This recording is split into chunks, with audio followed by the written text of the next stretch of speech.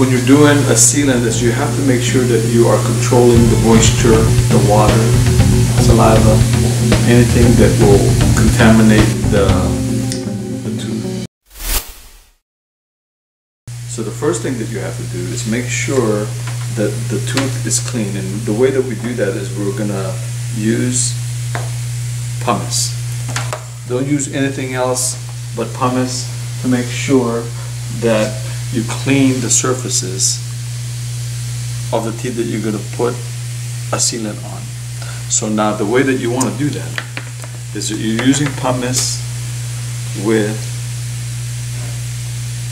prophy cup.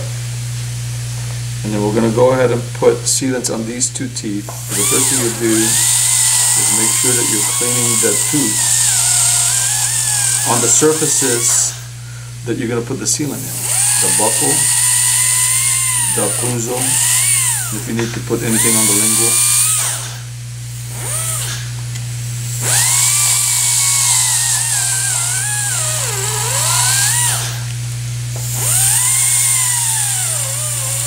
Okay, Once you've done the cleaning of the tooth surface, you have to make sure that you are able to keep that nice and dry.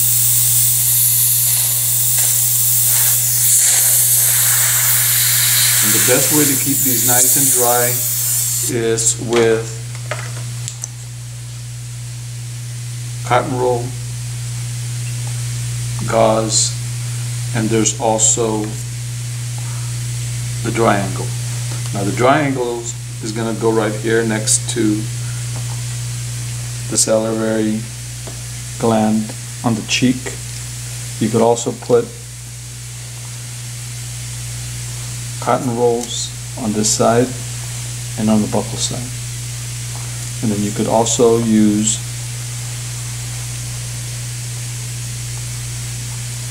and be able to put it like that to keep it nice and dry.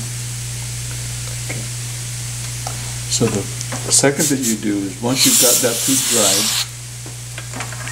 you're going to use an acid etch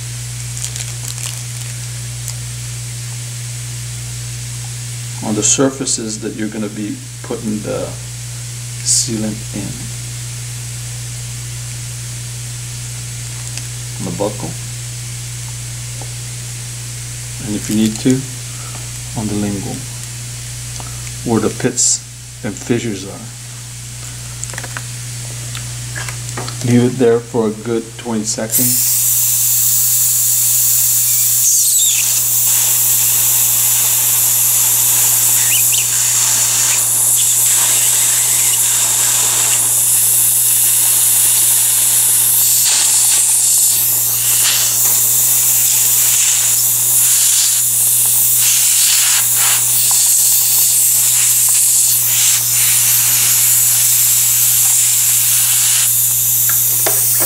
Keep it nice and dry with the gauze.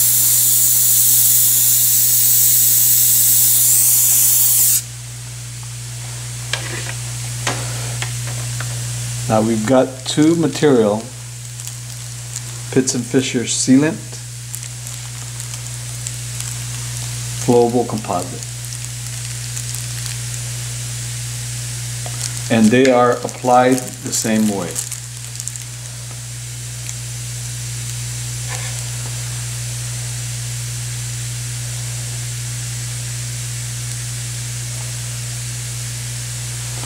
Okay.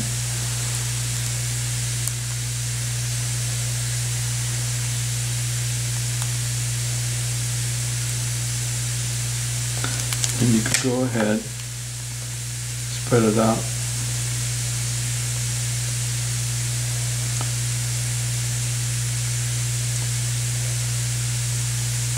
Okay, or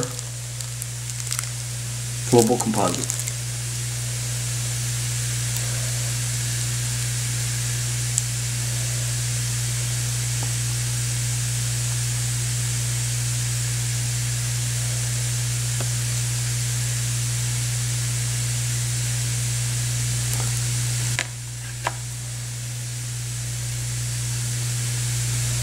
applied evenly.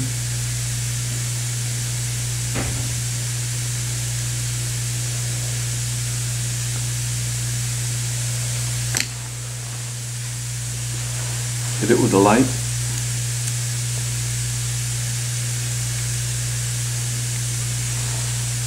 For about 20 seconds.